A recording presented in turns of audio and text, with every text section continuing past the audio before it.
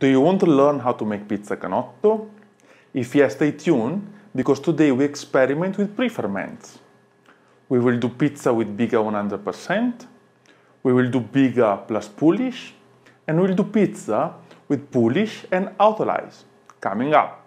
This is the second of a series of videos where I experiment to get the highest possible puff. In the last episode, I did the 3 dough. Check it out if you haven't already. Once the dough was completed, I rested in the fridge for 24 hours. And then I did the dough balls, which grown in a few hours at room temperature. Total resting time is 48 hours, which include the pre-ferment, the dough and the dough balls. Now let's get started with pizza 100% Biga and stay tuned until the end for the conclusions on the results.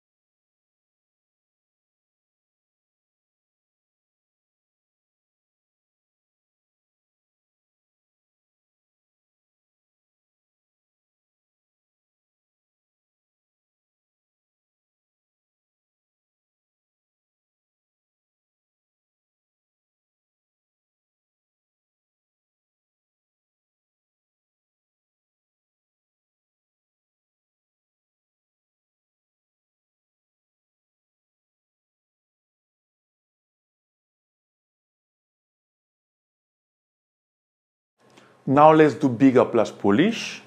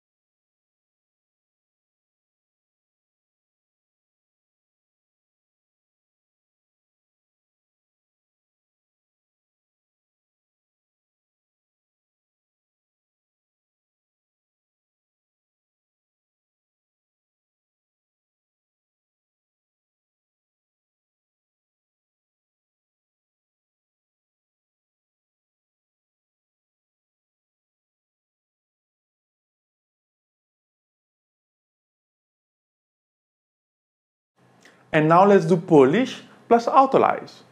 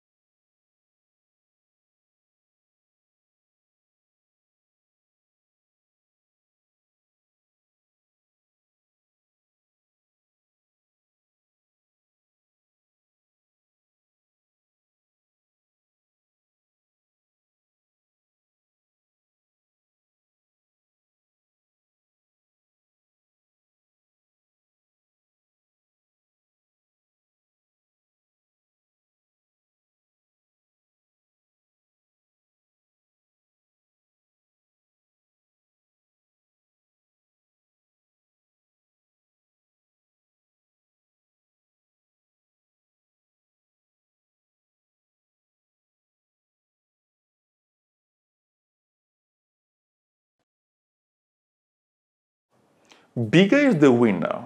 It gave a good canotto, but the pizza was too small. Not because the pizza was shrinking too much, but because I forgot to do the final stretch on the paddle.